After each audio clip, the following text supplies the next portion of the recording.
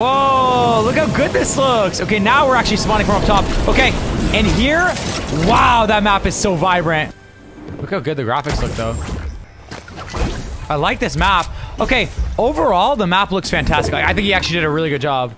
NickEh30 absolutely loved the post-processing volume that I did in this tutorial, so I'm going to teach you all the steps to make this perfect vibrant map just like I did that impressed him so much.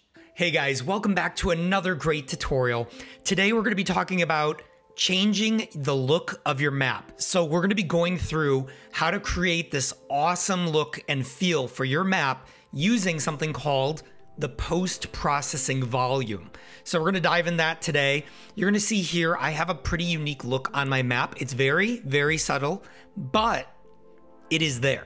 So we're going to talk about that. We're going to go through the different types of post-processing and uh, let's just get right into it. So, so guys, before we get started with this tutorial, I definitely want you to check out Micro Royale. That's the map right here. You're gonna see that I did all the post-processing for this map already. I'll put the code there at the top for you to check out. So drop into this map, see everything that I've done here. If you wanna learn how to make a map just like this one, I also made a tutorial called How to Make a Battle Royale in UEFN. Check it up on top there or in the description below. So in Fortnite itself, you can go to lighting and you can go right to post process and Epic Games actually gives you some post processing effects to start out with that are already done for you. You could do film noir. You could just place it over like this, see if you like it. If you don't, you can just go back into the drawer, put it back.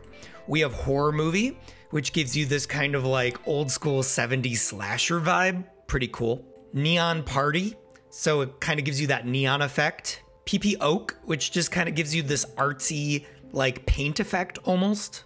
Old Cartoon, I like this one, heavily uses vignette. Retro, you've probably seen a lot of these guys in the uh, official Fortnite 1.0. This is just how you get to them inside of UEFN sepia, so you could do like the old school Western. Spooky. So this once again, just a very blown out look. The thing to know is you can actually take any of these as a starting point. So you could drop in like old cartoon. You can actually edit it. It will show up right here under PP old cartoon. Then you go under post process at the bottom. And here is where you can kind of go through and make some of those changes uh, maybe you do want this look, but you want it even darker. You're doing like a horror map. So you could do stuff like that. Look through all the different intensities of each thing, see what works. Some things may not even change anything whatsoever. You can go in here, change your strength of detail so you can get this really cool looking detail with the strength or go with a muted look. So you can edit the the templates, which is really cool. I'm just gonna undo I went ahead and undid all of that. I don't want to do any of that. So what I'm going to do is go up here to the plus symbol, and then I'm going to choose on visual effects, post process volume, and then you're going to go ahead and click and add that. When you click and add it, it's going to add a volume for you. I already created one. So I have some settings that are already chosen for me, but we're going to go through some of this.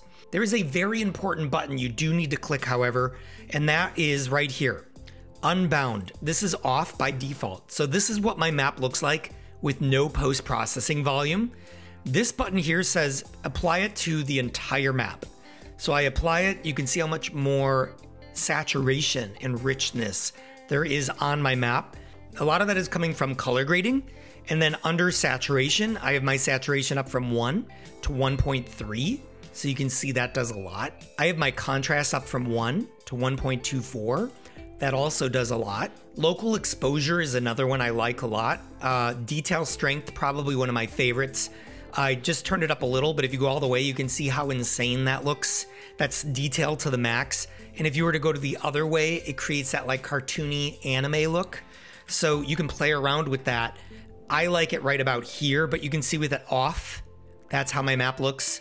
And then just with a subtle apply, those three things are going to be my uh, kind of my look that I'm going for, I suggest you play around and find a look that is suited to you as well. If you think I'm doing a good job, go ahead and like and subscribe to this video. It means a lot, guys. Uh, it goes a long way, so thank you. The one setting I personally would stay away from is Bloom. I love Bloom. I think it's cool. uh, if you set bloom to like a really high threshold, you get this kind of dreamy effect when you up bloom really high like this. And I kind of like it. But PS5 players and console players are telling me that it looks so blurry on PS5 and on Xbox that it's unplayable. So I just lean in the direction of having this off um, just because Bloom in general on console looks really bad. But there are some really cool ones that you can play with. Uh, you can do other things like a vignette. I have a vignette on here. You can make it more extreme. I actually have one, it's pretty subtle. If I turn it off, you'll see. That is it for a quick down and dirty post-process volume and how to use it. I will get into more detailed tutorials later on how to add your own effects to the post-process volume and basically create a look that looks nothing like Fortnite whatsoever. But for now, we're to keep it simple. Thanks again for tuning in, like and subscribe, and until next time, take care.